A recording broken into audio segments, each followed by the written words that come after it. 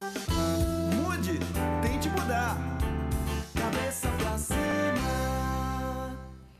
Olá, queridos. Está no ar mais um programa Cabeça para Cima. Sempre muito bom poder estar aqui com você para a gente falar sobre temas importantes, temas que podem tornar o nosso dia a dia melhor, pode, podem tornar a nossa vida melhor, a nossa vida em sociedade também um pouco melhor. Né? E muitas vezes o que a gente precisa é entender um pouco mais sobre determinados assuntos para que a gente possa mudar o nosso comportamento, mudar o nosso olhar e fazer diferença onde quer que nós estejamos, não é mesmo? Muitíssimo, muitíssimo obrigada pela sua companhia aqui no programa. E obrigada a você também, querido semeador de boas novas, você que tem estado conosco, nos acompanhado ao longo da nossa história, você que tem orado por nós e também contribuído financeiramente para que a gente possa estar aqui. Né? levando o amor de, de Jesus a todas as pessoas através das ondas de rádio, através da televisão que o Senhor mantenha acesa essa chama no seu coração, essa chama de semear no reino de Deus e que a Boas Novas possa ser sempre terra fértil para receber a sua semente e fazer essa semente crescer de forma abundante, de forma bastante forte, levando as boas novas de Cristo a todas as pessoas. No programa de hoje, gente, nós vamos falar sobre um tema que ele é efetivamente da maior importância. Você sabia que, segundo a organização, aliás, o Ministério da Saúde, aqui no Brasil, atualmente nós temos cerca de 270 mil pessoas com síndrome de Down.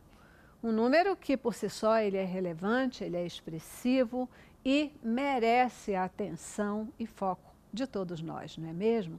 A síndrome de Down ela é bastante antiga, de muito tempo atrás. Contudo, ainda se tem muito pouca informação e, consequentemente, muito preconceito a respeito dessa síndrome. é por isso que no Cabeça para Cima de hoje a gente quer conversar com você sobre síndrome de Down. Começamos com o nosso informativo.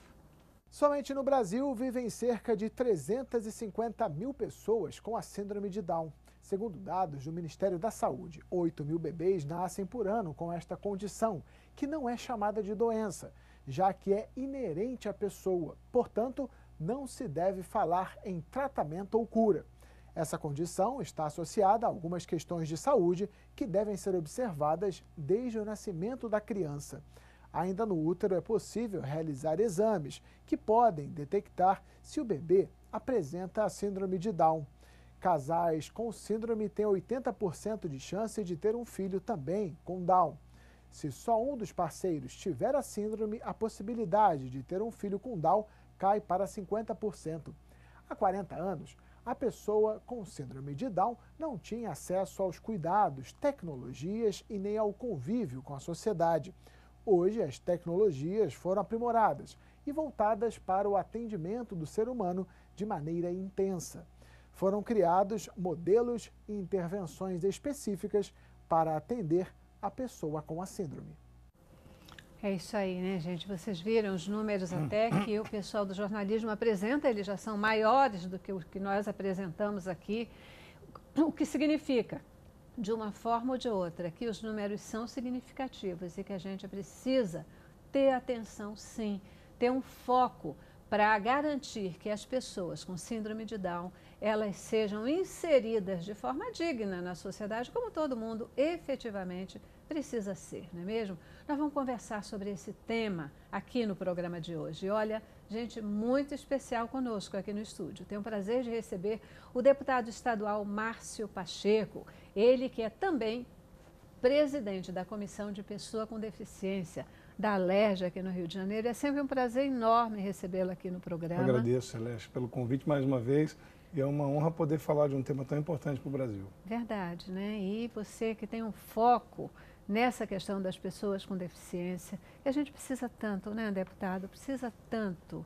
É, hoje, a saúde no nosso país, incrivelmente, o preconceito no nosso país parece que está aumentando. É. E há que se ter foco, especialmente em termos de políticas públicas. É, né? 25% da população, segundo pesquisas, tem alguma deficiência no Brasil o que significa que para cada quatro pessoas, uma pessoa com deficiência. Então é impossível que ou nós não tenhamos na família alguém com deficiência ou ao nosso redor, um vizinho, um parente ou alguém que trabalha perto da gente. Não ter consciência política para lidar com isso, é, com a pessoa com deficiência, significa excluir uma significativa parcela da população, o que é falta de humanidade. Uhum. E vamos combinar que, por exemplo, é, esse foco, a gente está falando em pessoas com deficiências que são mais marcantes, né? Que elas podem trazer algum tipo de dificuldade para essas pessoas no contexto social, porque deficiência no duro 100% da população tem, né? É verdade. Todos nós temos alguma deficiência, é tem, é verdade. Né? E aí, se a gente for souber ser generoso com o outro, é certamente a gente vai propiciar uma sociedade melhor. É. Mais uma vez, brigadíssima pela agradeço. sua presença aqui. E olha, gente, está com a gente também aqui hoje o Breno Viola. Vocês vão amar o Breno. O Breno, ele é atleta e também ator. Ele tem síndrome de Down e ele está noivo. Ele fez questão desse crédito. Legal, né? A gente está aí dando crédito. Sim, noivo. Sim. Muitíssimo obrigada por você Eu estar aqui com a gente. Eu que agradeço pelo carinho. É, que você me acolheram aqui nesse programa e eu tenho muito a agradecer. Uhum. A gente é que fica feliz, né, e agradecido de você estar aqui, porque certamente que ouvir de você, né, é, é esse sentimento de como hoje a pessoa com Down ela está é, é, sendo acolhida ou não acolhida pela sociedade é fundamental, né? Melhor coisa é a gente poder falar com quem vive essa realidade. A né? primeira coisa que eu digo para você, uhum. a sociedade não está preparada para receber pessoas com deficiência em geral. Uhum. Por que, que a sociedade não está preparada? Que não incluíram, sempre exclui a gente. E a gente, primeira coisa que a gente quer, ser incluído na sociedade, com respeito, com essas coisas. A gente pode fazer as coisas normais igual outras pessoas que não têm nenhuma, nenhuma, nenhuma deficiência. Porque, na verdade, todos nós, né, aquilo que também colocava no início, todos nós é, recebemos presentes de Deus, né, presentes no sentido de habilidades, é, nem, ninguém tem todas as habilidades do mundo, né? Algumas pessoas têm essas habilidades, outras têm outras habilidades. E pessoas com deficiência, por exemplo, com síndrome de Down, elas podem não ter ou ter mais dificuldade em relação a algumas habilidades, mas elas certamente terão coisas que elas podem fazer, podem contribuir e podem tranquilamente é, estar aí participando, cooperando para uma sociedade melhor. Eu é? cada vez me convenço mais, Celeste, de que uh, a deficiência não está na pessoa, ela está no espaço em que a gente habita, no espaço em que a gente convive. Eu olho a história do Breno, por exemplo, um dos maiores atletas brasileiros hoje, não só uh, vários mundiais e, e, faixa preta. Duas Olimpíadas. É, duas Olimpíadas. Quem é o deficiente? Eu ou ele? no espaço dele, o deficiente sou eu. Ou seja, a, a inef... eu digo, se, se analisarmos a palavra deficiência como algo é, pautado numa palavra que seria comparar com ineficiência, o que eu acho um equívoco. A palavra deficiência, ela significa uh, limitação para exercer algo em algum lugar. Ponto. E que se você tiver tecnologia, se você tiver acessibilidade, como o Breno disse, a pessoa vai ser eficiente para aquele espaço. No espaço onde o Breno habita, né, no tatame, quem é o deficiente? O deficiente sou eu. Eu é que não estou apto para esse espaço. Então, na verdade, há uma confusão enorme. Né? Ele tem a síndrome de Down, mas no espaço dele o deficiente sou eu. Uhum. Então, uh, o, o Breno é um exemplo, assim como a Fernandinha e tanto a Samanta, que é a noiva dele. Né? Ele me contava há pouco que, que há, alguns dias eles estavam em São Paulo, ela estava concorrendo a um, curso, a um concurso de modelo Down. Bonito ver que as pessoas que, que, que isso está acontecendo no Brasil, né? Então, eu fico muito feliz por poder fazer parte dessa história também. E porque é isso mesmo, é, é, é beleza é um conceito muito abstrato, né? É um conceito muito abstrato. Uma coisa que eu concordo tudo com tem o Márcio Pacheco, que é assim, eu sei que aonde eu frequento, com meus amigos, com as pessoas com síndrome de Down, é uma coisa. Ter uma pessoa responsável como deputado federal, como presidente, negócio de pessoas com deficiência, não poderia ter sido melhor com o Márcio Pacheco, porque ele vê o nosso lado. Isso é legal. Que a gente sofre. Uhum. Esses, o Rio, não só o Rio, o mundo inteiro está muito triste. Uhum, do jeito verdade. que está. Não é só na, no, no, preconceito, é a violência que está. A minha noiva está com medo do Rio. Uhum. Todos nós, né? É verdade. Todos nós, todos nós estamos. Deixa eu te falar uma coisa, Breno. Vamos falar um pouquinho sobre a síndrome de Down, né? A síndrome de Só Down. para ajudar um pouco o nosso telespectador a tá. entender um pouco mais isso, né? Porque como você Sim. falou, muitas vezes a gente é, acaba confundindo a deficiência com uma ineficiência, com uma é, é, é acaba Genética, entendendo de uma fala. forma erra, errada, né? É porque muita gente dentro do teu ponto de vista, é, como é que você explica para o nosso telespectador o que, que é a síndrome de Down? Porque antigamente eles falam que, que a gente é portador de uma deficiência, necessidades especiais. Uhum. Isso era, era antigamente. Uhum. Agora tem gente, alguns programas, outros, que ainda falam que a gente importa alguma coisa. É portador, né? Portador de síndrome de Down. E isso é completamente errado, errado da gente falar. O certo né? é pessoas com deficiência intelectual ou pessoa com síndrome de Down. Aham, aham. Ponto de vista. E a síndrome de Down, isso acontece por causa de uma genética. Uhum. A genética, porque sim. Exemplo, o Márcio Pacheco, ele tem 46 cromossomos. Eu tenho um a mais do que ele. Uhum. Que é 47 cromossomos. No par do 21, é trissomia do 21. Aham. E é por isso que é chamado Aham. E esse cromossomo a mais, nesse par 21, ele provoca essa síndrome. Sim. É? E também, é assim, a ciência, como que era antigamente, não tinha tanta informação. E hoje tem uma deficiência, tem mais informação agora, porque eu trabalhei num portal, de um site, um síndrome de Down, que tem todas as informações Uhum. São um dos fundadores, junto com as três mães, que só existe esse site por causa de três mães. Uhum. Cris Aquino com Dante, Patrícia Almeida com Amanda, Maria Antônia Goulart com a Beatriz. Uhum.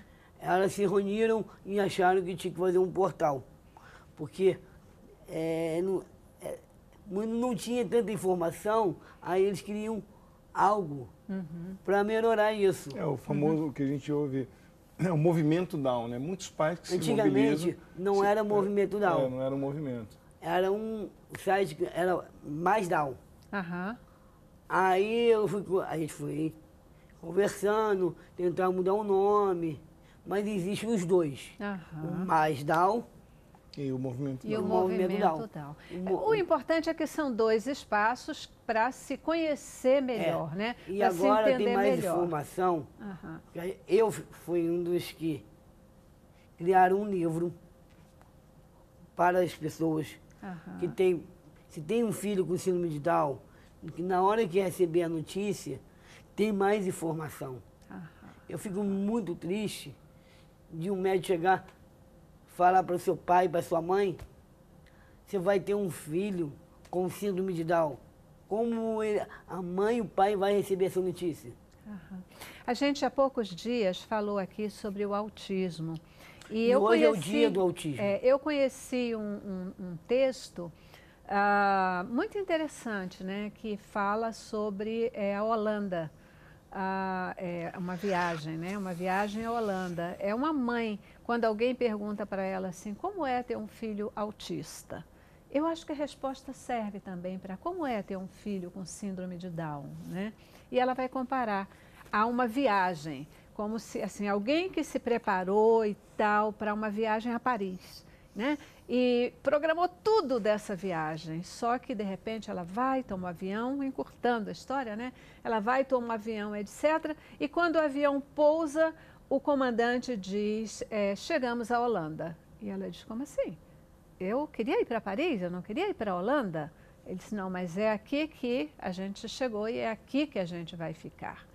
E aí é, você vai olhar para a Holanda e buscar descobrir naquele novo lugar as belezas, porque afinal de contas a Holanda tem um monte de coisa boa, é isso aí. né? Tem um É. monte de coisa, né? E aí o que você tem que fazer, já que você você está ali na Holanda, você vai olhar para a Holanda e buscar descobrir tudo de bom que ela tem. É um texto muito interessante que vale a pena ler Bacana. porque ele traz um comparativo é extraordinário disso, né? Você, claro que ninguém fica dizendo assim, ah, eu queria ter um bebê assim, ter um bebê assado. Todo mundo fica dizendo que quer ter um bebê perfeito, né?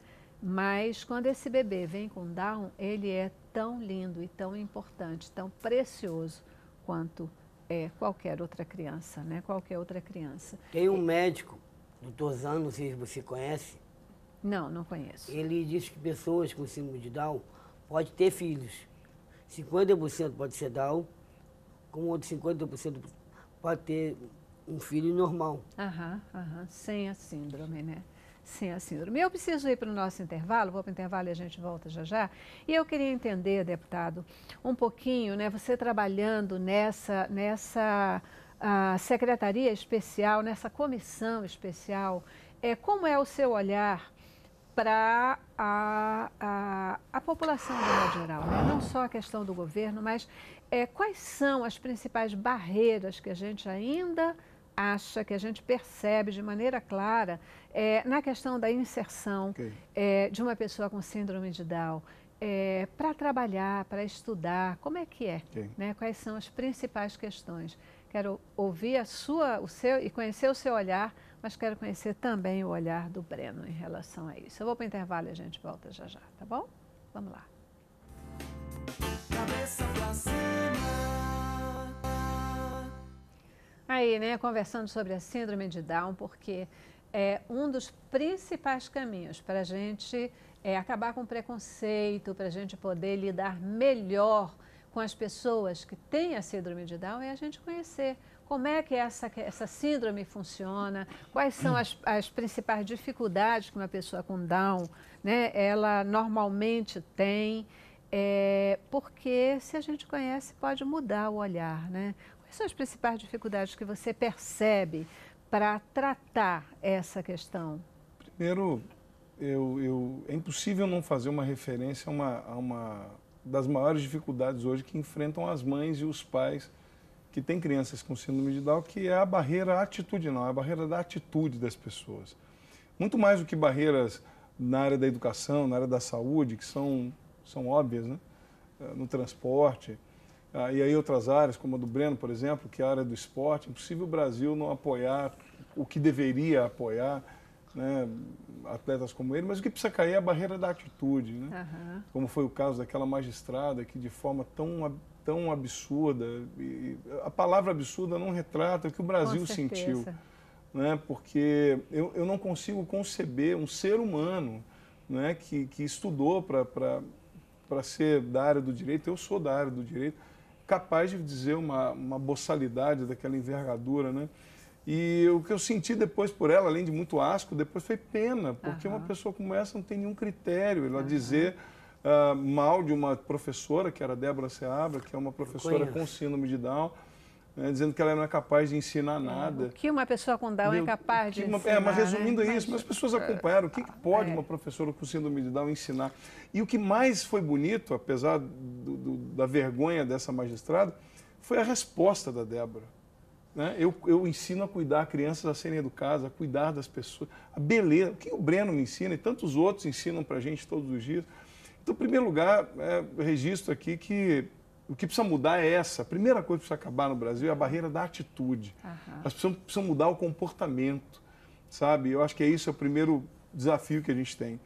O segundo é, é, analisando a síndrome de Down, há 40 anos atrás, quando nascia uma criança com síndrome de Down, a família, de fato, não sabia o que fazer. Aham. Quando digo não sabia, estou falando do Breno, que tem 37, 40 anos atrás, as pessoas olhavam e, e agora? Não, tem, não, não tinha para onde ir. E há algum tempo atrás, a gente, vou usar uma palavra, você que é da minha idade deve conhecer, chamavam a síndrome de Down de mongoloide. Quando eles nasciam, eram, eram né, crianças, não, não se chamava pessoa com deficiência, se chamava necessidade mongol. especial, o mongol. E, de fato, a ausência de política pública fazia com que algumas crianças um pouco mais fragilizadas de saúde iam a óbito com 12, 15 anos. Então, se criou um carimbo uhum. de que quem tinha síndrome de Down tinha uma expectativa de vida muito pequena. Aí, o que, que acontece com esse país que, que erra nisso?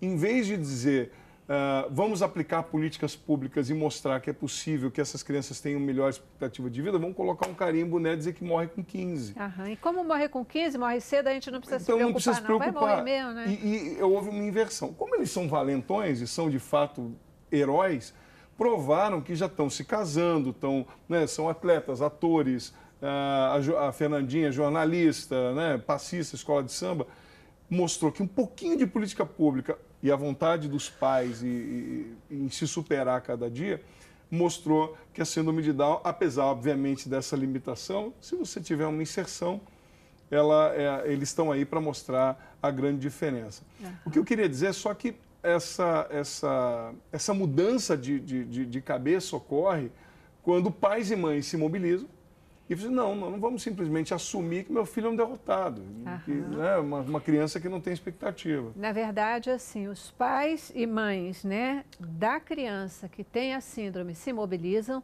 e a sociedade se mobiliza também, né? Porque eu achei é. bacana a sua colocação aí da questão atitudinal, porque a gente está cansado de saber que o Brasil é muito bom de fazer leis, é. né? E uma lei ela precisa sim da atitude da sociedade para acontecer, para fazer valer, para pegar, para ir em frente e para fazer acontecer de verdade, né? É, a política pública, por si só, ela é absolutamente necessária. Absolutamente necessária, mas por si só ela não vai resolver. Não porque sozinha. se chegar na hora H, onde uma pessoa tem que fazer cumprir e ela não cumpre, ela não obedece, aí não vai pegar de verdade. Né? Sabe por que o preconceito existe? Sim.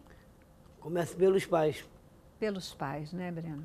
Porque os pais é, ficam com tanto medo de alguma coisa acontecer com o filho. Ai, eu, se eu levar ele, será que vai tomar conta? Será que vai é. acontecer? E o outro é. medo é de medo de é, proteger seu filho. Ou e ainda prejudica proteger. ele ficar em casa, sentado vendo televisão e comendo muito.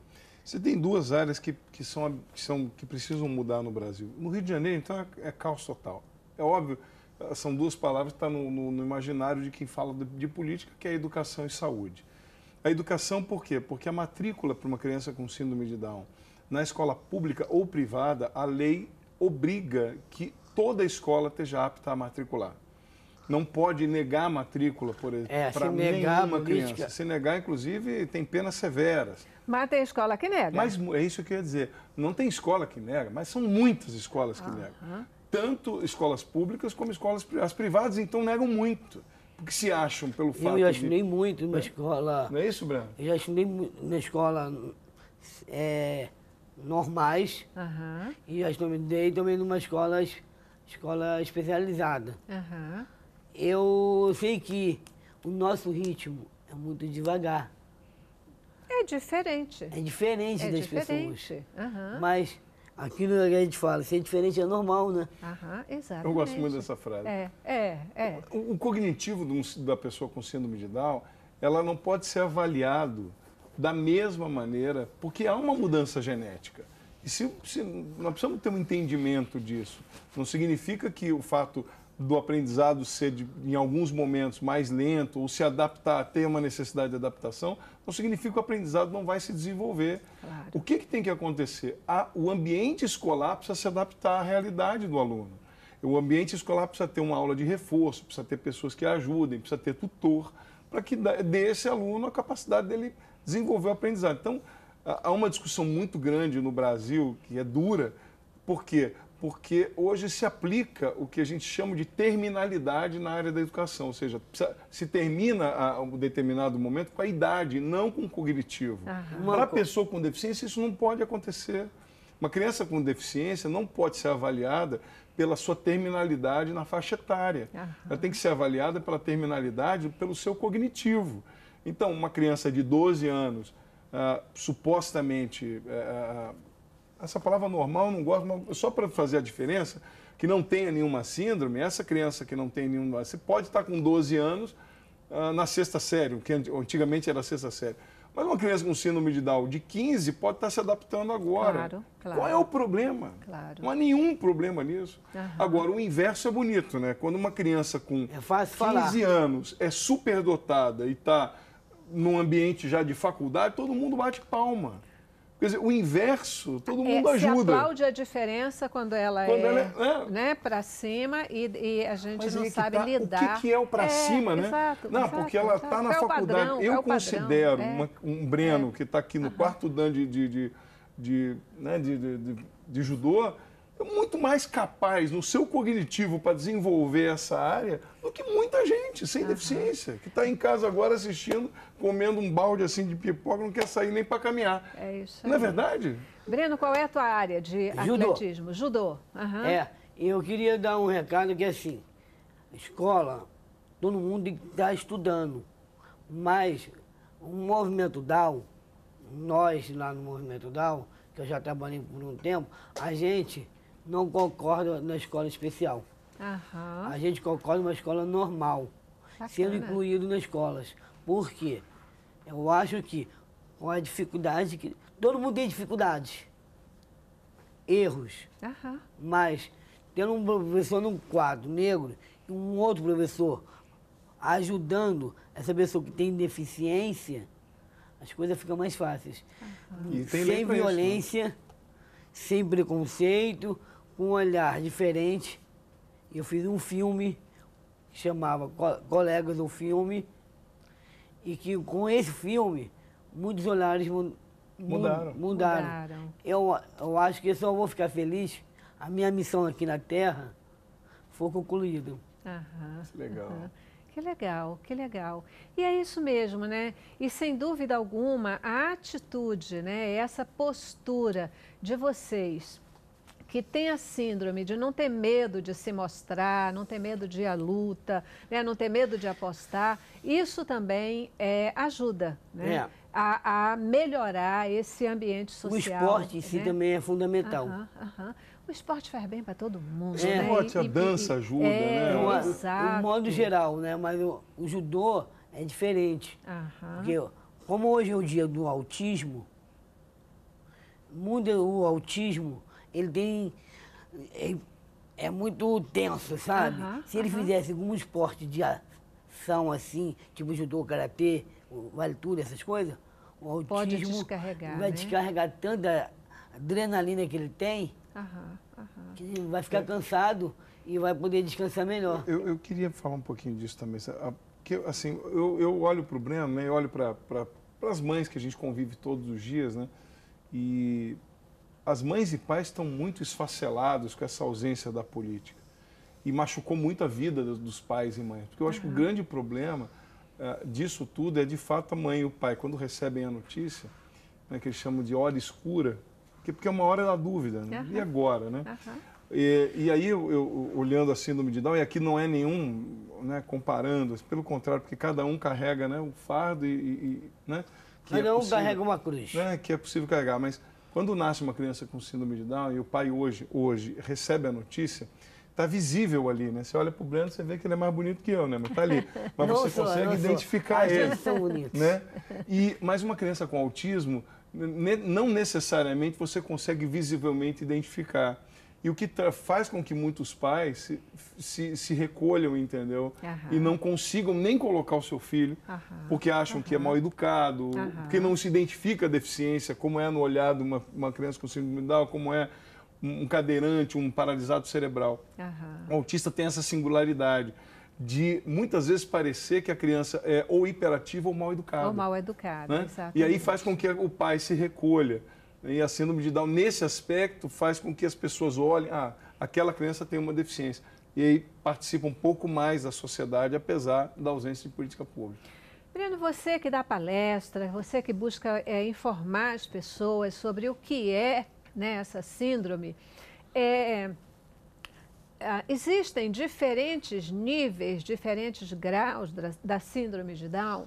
Quais são, assim, é, os principais pontos que afetam uma pessoa com Down? Quais são as principais dificuldades? Tá vendo o olhinho aqui? Sim. Esse olhinho é amendoado, uhum. a mão cruzada aqui. Amendoado foi bonito, uhum. eu gostei, que ficou bonito. É o nariz é pequeno, uhum. o ouvido um pouquinho menor. E assim, eu tenho poucas características que tem a síndrome de Down.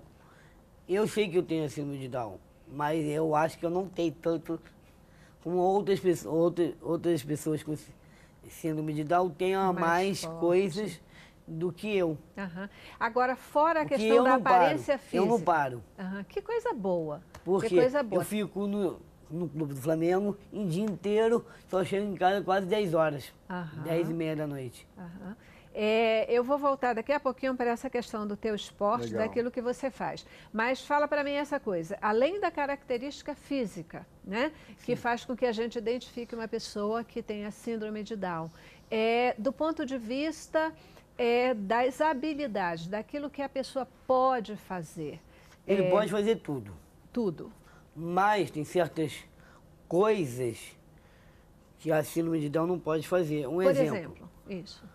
O pescoço, se eu vou fazer o judô, tem que fazer um teste de pescoço, um exame para ver se tá, é, ele tem condições de fazer algum esporte, de esporte de contato. Uhum. Isso é uma coisa. Uhum. Segundo, é meu ponto de vista, além disso, do exame, de fazer um. Porque ele pode se machucar em vários lugares do claro. corpo. A síndrome de Down, às vezes, é um pouco sensível.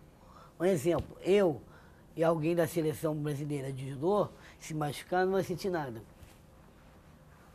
Mas a síndrome de Down, ai meu dedinho está queimando, Aham. ai meu cotovelo, ai meu ombro, Tem uma outra sensibilidade física, né? E isso faz diferença. Isso. isso faz diferença. Tá legal, já preciso ir para o intervalo de novo. Nesse tempo que passa aí, não deixa nem a gente conversar. A gente vai para o intervalo e a gente volta. Eu quero conhecer um pouquinho mais.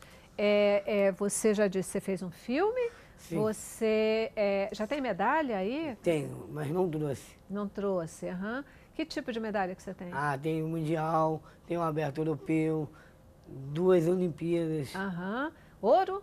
Não. Aham. O quê? Já, 2013 foi ouro, 2006 foi ouro, 2007 foi ouro. Caraca, brincadeira. Vamos para o intervalo, porque ele vai humilhar a gente aqui. Vamos para o intervalo e a gente volta já já. Cabeça pra cima, pra cima.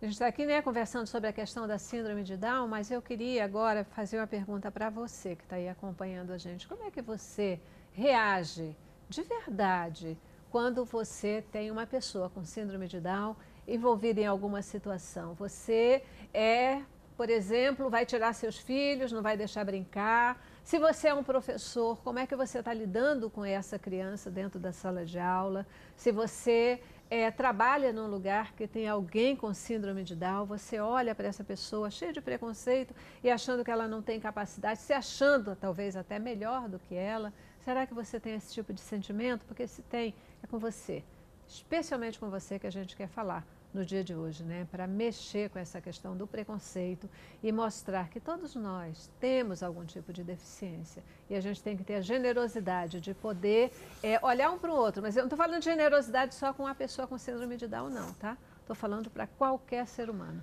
Essa generosidade de poder olhar para o outro e poder se colocar no lugar do outro e fazer com que esse outro se sinta, né?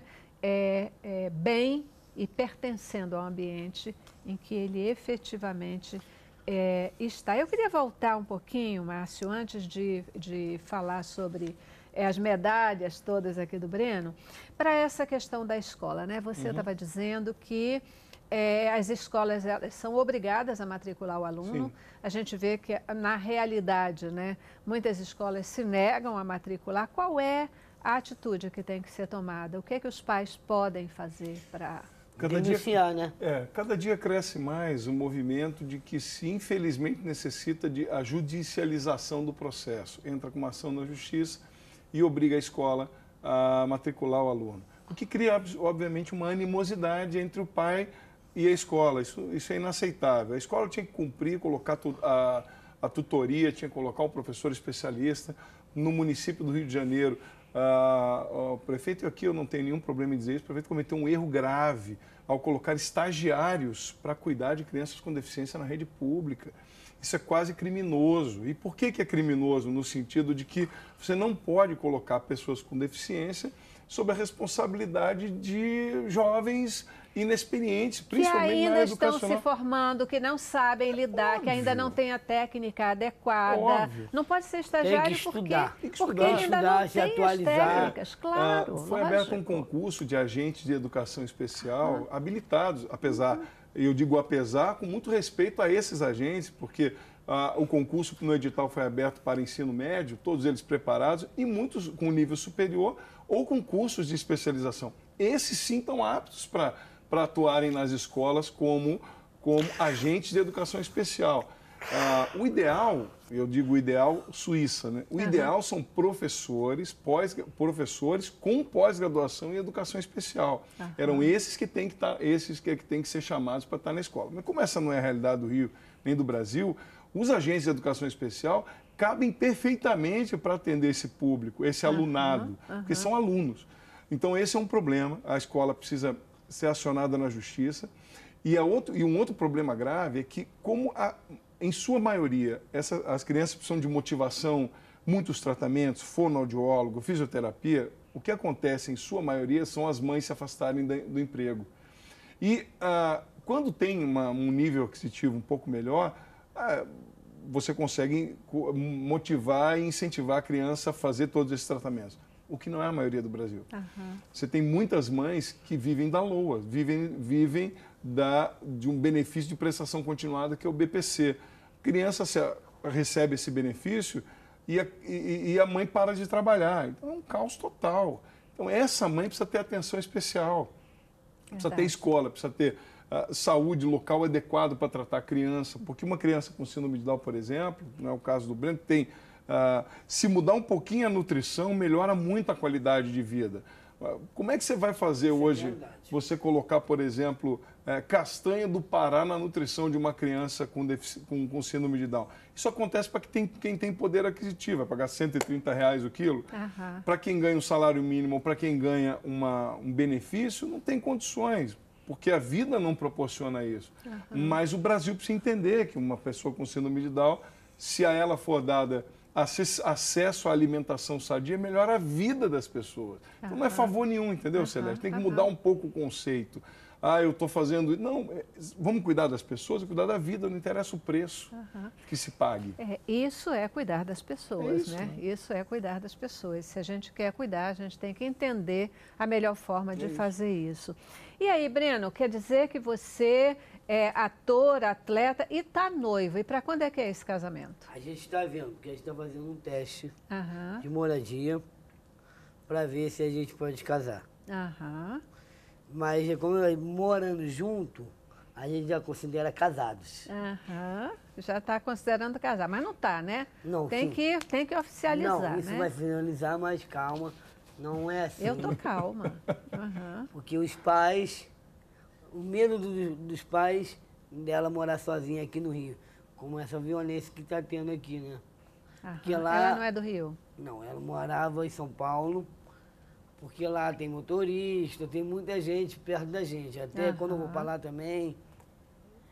Mas no momento, como o irmão dela tem muito mais dificuldade do que a gente, aí decidimos morar com minha mãe. Uhum. Já que a gente está falando de casamento, e casamento pressupõe aí, né, um autossustento, pressupõe, né, o pessoal... Essas que... palestras que eu dou, uhum. eu já estou já até bancando já minha noiva. Que bacana, bacana, bancando Mas sua noiva e bancando você. Mas eu já estou conversando com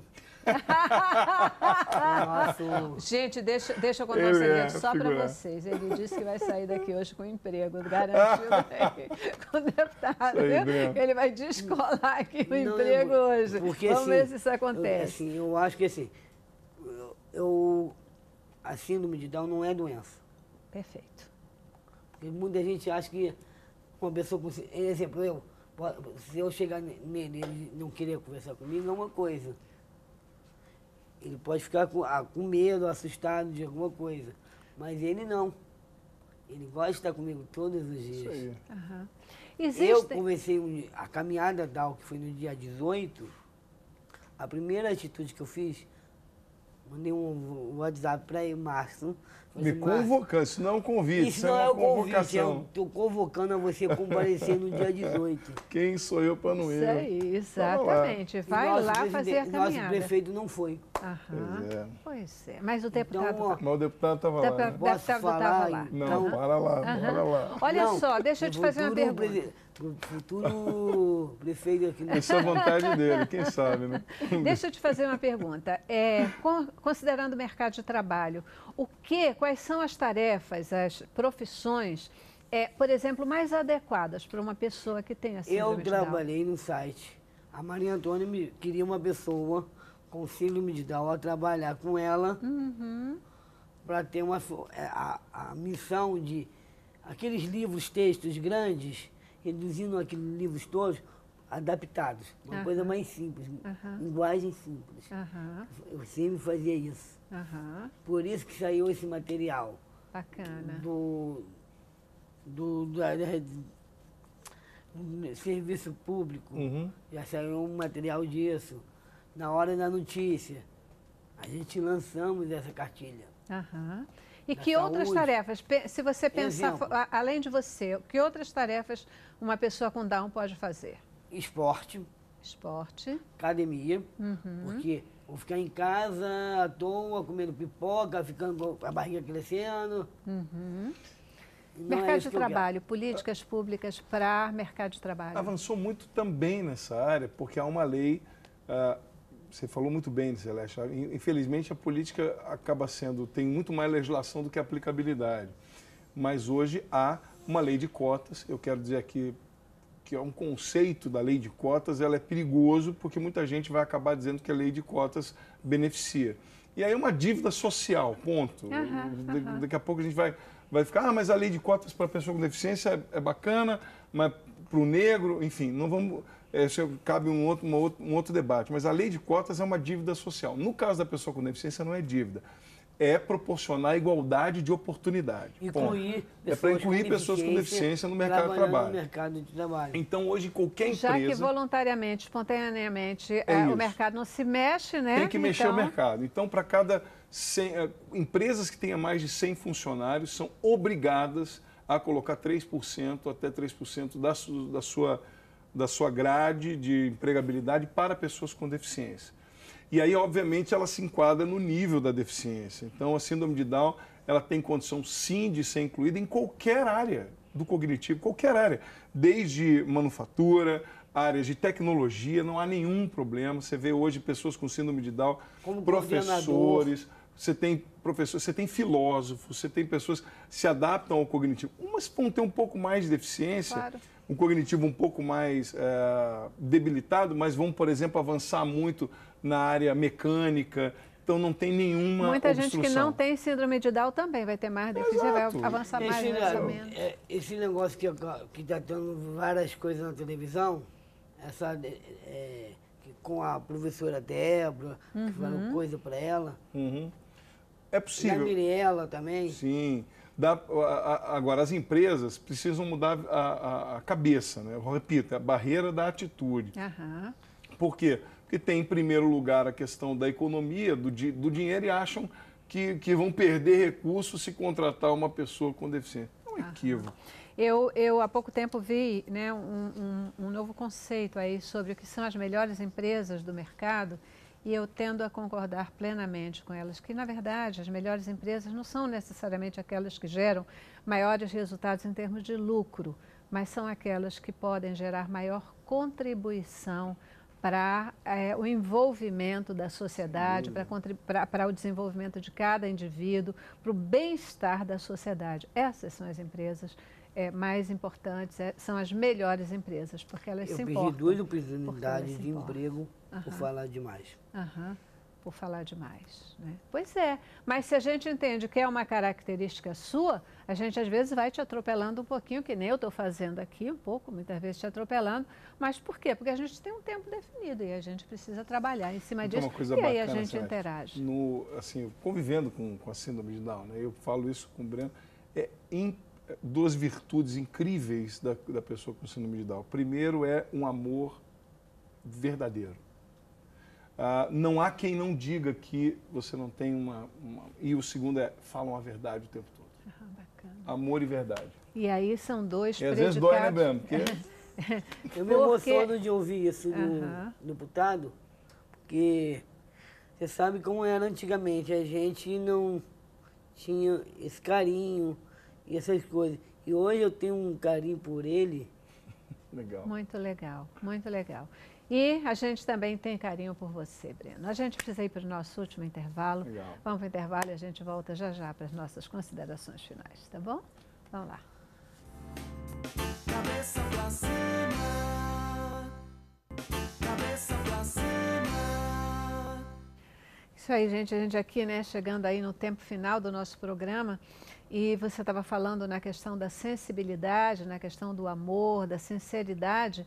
E quando uma pessoa ela é muito afetiva, na verdade, quando ela não tem essa reciprocidade, ela sente muito mais, né? Ela sente muito mais porque ela se doa muito e, de repente, sente muito mais quando isso não acontece. Mas é, uma das coisas que eu acho que é fundamental é a gente poder perceber a mudança, né? P poder perceber que o vento sopra para movimentos de mudança, movimentos de maior compreensão, movimentos de maior respeito, movimento que traz é, é um, um, uma direção que traz pessoas que se importam com as outras e é que é, vão viabilizar novos caminhos para o nosso Brasil, para a nossa sociedade. Eu tenho que agradecer desde já a presença de vocês aqui com a gente e é, quero começar pelo Breno, a tua palavra aí, a tua mensagem final para o nosso telespectador. Eu acho que assim, acreditar no nosso sonho, né? Que a gente pode fazer o que a gente fazer de tudo, né? Mas o que é certo é certo, o que é errado é errado. Minha mãe me deu uma educação muito boa e eu quero agradecer também o programa, a você e quando tiver mais oportunidades. Com certeza, com certeza. Muito obrigado. A oportunidade é nossa de poder trazer você aqui para compartilhar, né? As tuas experiências, os teus sentimentos com o nosso telespectador. Eu me sinto abençoada Obrigado. de ter você. Eu fico emocionado das coisas lindas que ele fala. É isso aí. É isso Olha, aí. Celeste, eu, eu agradeço muito a Deus a oportunidade de estar aqui mais uma vez. Me considero sempre um abençoado quando eu venho participar. Agradecer a você, a toda a produção. Estar aqui com o Breno é uma honra para mim, porque o Breno é, é, um, é um exemplo para o Brasil, um exemplo para o mundo. E eu espero que a palavra dele chegue e alcance a todas as pessoas que um dia, um dia, em algum momento, é, infelizmente pensaram, agiram como aquela juíza. Uh, sem, um, um, sem amor no coração. Porque o que transforma a vida da gente é, não são só palavras, né, são iniciativas. É verdade. E aí, e aí, quando eu vejo uh, as mães, eu quero aqui dar um abraço muito carinhoso em dois movimentos muito bacanas. Um deles é a Trissomia do Amor 21, que é a Alessandra, uma mãe guerreira da Zona Norte do Rio de Janeiro, do subúrbio do que chama as mães. Uh, esses dias fez um movimento tão bonito e também uh, o AMI Down, são movimentos de mães que, de baixo poder aquisitivo, mas que se lutam ali com toda a força, né, que vêm no desejo de dar melhor qualidade de vida. O que, que é isso? É com amor, com verdade, dedicação, lutar pelo que é justo. E a gente, na nossa comissão, nós vamos continuar lutando por eles. É isso aí. E é, a gente chamar a atenção para a palavrinha que você usou, eu acho que ela é fundamental, atitude, atitude, né? Então, é, a gente entende que se a escola recusou a matrícula, é, a gente não vai querer colocar o nosso filho ali para viver um ambiente de hostilidade, mas a gente tem que denunciar, que, denunciar. que é para poder fazer provocar mudança e, estabelecer humanos. os direitos. Exatamente, garantir os direitos, né? Porque uhum. é assim que a gente vai fazer. É assim que a gente vai mudar não só o país do Rio, mas mudar o mundo. Né? Mudar o mundo, exatamente, né? E fazer com que as leis que estão aí, elas efetivamente... Sair do papel é, e mostrar mais em ação. E virem, virem realidade. Mais uma vez, muitíssimo Obrigado. obrigada pela presença de vocês aqui conosco. E obrigada a você também, querido telespectador, que participou com a gente aqui. O programa de hoje a gente vai terminar não, não apenas com música, mas com um vídeo que ele vai buscar traduzir tudo aquilo que a gente falou aí e deixar um toque de afetividade no seu coração. Muitíssimo obrigada pela sua presença conosco. Paz.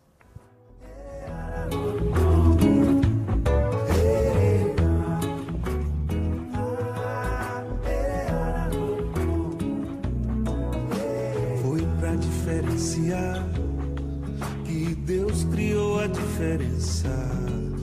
Irá nos aproximar, que ele pensa. Se cada ser é só um, e cada um com sua crença. Tudo é raro, nada é comum. Diversidade é a sentença. Que seria do adeus sem o retorno? Que seria do nu sem o adorno?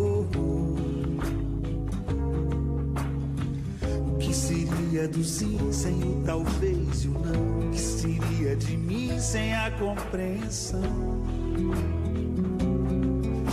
Que a vida é repleta, e o olhar do poeta percebe na sua presença o toque de Deus, a vela no breu, a chama da diferença.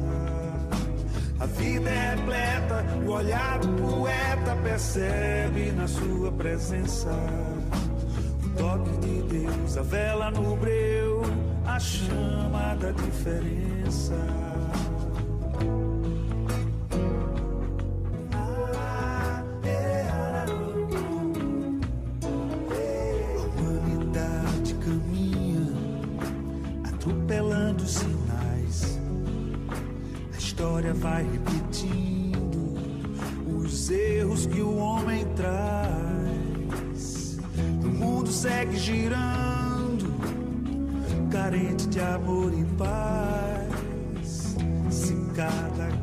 É um mundo, cada um é muito mais.